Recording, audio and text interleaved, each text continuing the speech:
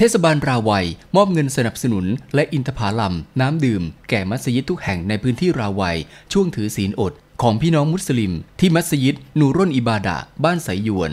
เทศบาลตำบลราวัย จัดโครงการเทศบาลตำบลราวัย ร่วมต้อนรับสู่เดือนรอมฎอน อันประเสริฐ ประจำปีฮิจเราะศักราช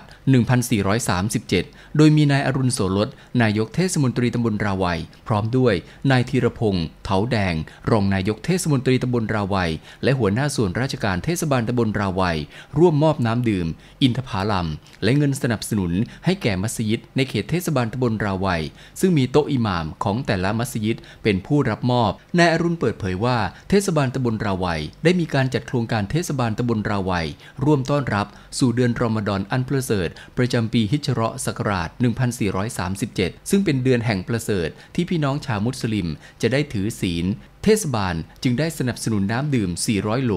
อินทผลัม 50 กล่อง และเงินสนับสนุนให้แก่มัสยิดบ้านไสยวน หมู่ 7มัสยิดบ้านบางคุนที หมู่ 4 มัสยิด บาลาย หมู่ 4 มัสยิด บาลาย หมู่ 5 มัสยิด บ้านบางคุนที หมู่ 5 และมัสยิด บ้านเกาะโหลน หมู่ 3 รวมทั้งหมด 130,000 บาท เพื่อใช้ในการถือศีลอดของพี่น้องมุสลิม ครับวันนี้ทางเทศบาลนะครับได้นำอินทผลัมน้ำดื่ม แล้วก็เงินสนับสนุนนะครับมามอบให้กับทาง มัสยิด